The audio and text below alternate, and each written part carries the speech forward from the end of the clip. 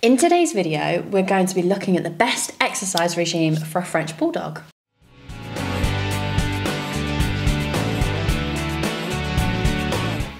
Welcome back to the French Bulldog channel. If this is your first time here, my name's Charlie. I'm a certified canine leader here at FenrirCanineLeaders.com. This channel is dedicated to helping you learn everything you could possibly want to know about the French Bulldog and then how to become a high level canine leader that can raise the perfect French Bulldog. So, if you're a lifelong French Bulldog lover, thinking about getting one or just started your journey with your new puppy, then this is the channel for you. So make sure you hit that subscribe button and turn on the notification bell so you never miss a future French Bulldog video. So then, let's get into today's video where we'll be looking at the exercise levels of the French Bulldog and the best way to keep them fit and healthy.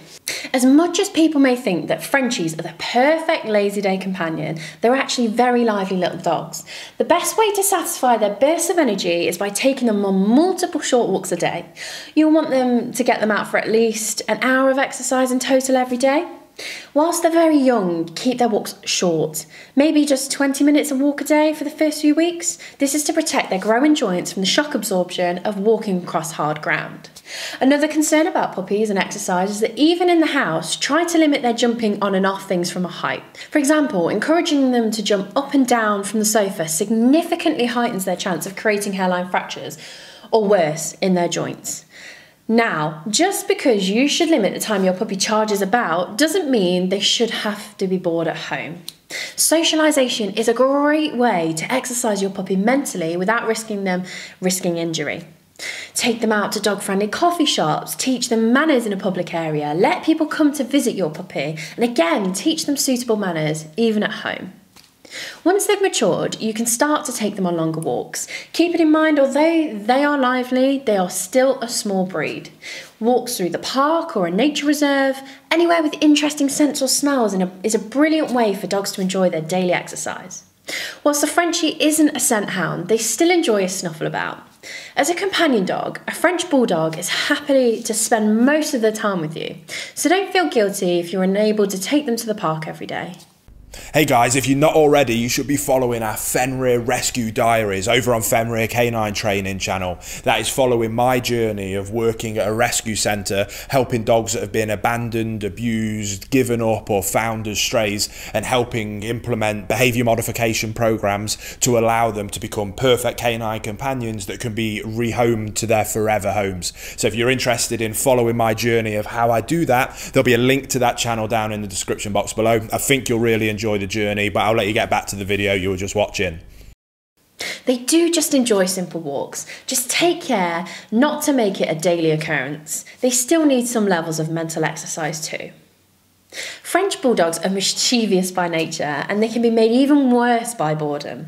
If you find your Frenchie stealing things around the house, being stubborn, or simply ignoring your commands, you may want to reevaluate their mental training. Upping their mental exercise with puzzle toys or just teaching them simple tricks will be enough to satisfy a French Bulldog.